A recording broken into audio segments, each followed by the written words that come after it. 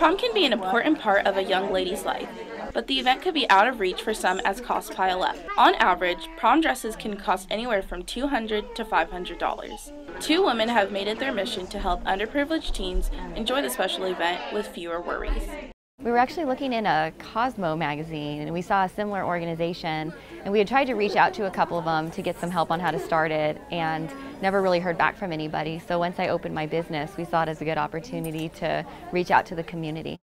This will be the eighth year Melissa and her sister Jennifer are giving away free prom dresses to underprivileged teens through a project called the Cinderella's Closet. We give away about 250 dresses a year. High school senior Jasmine Shalolo is one of the teens getting a dress and says now she won't have to miss her last prom. Well, it means a lot because there's some, you know, there's a lot of students and stuff that aren't able to get prom dress or spend a lot of money on dresses. So to be able to have a place like this to find something and be able to choose accessories, it's nice for girls because, you know, we all want to go to prom. Shalolo's mother says she's grateful too because her daughter's senior year is quickly adding up. So this is senior year for her and it's like the cost of everything from portraits and everything is so expensive and to be able to bring her here so she can look beautiful and have a dress and shoes and accessories. I mean, it's just wonderful because a lot of us parents can't afford it. So this is a wonderful thing that they're able to do. The dress donations come from people in the community. Cinderella's Closet also accepts money donations to purchase plus size dresses from department stores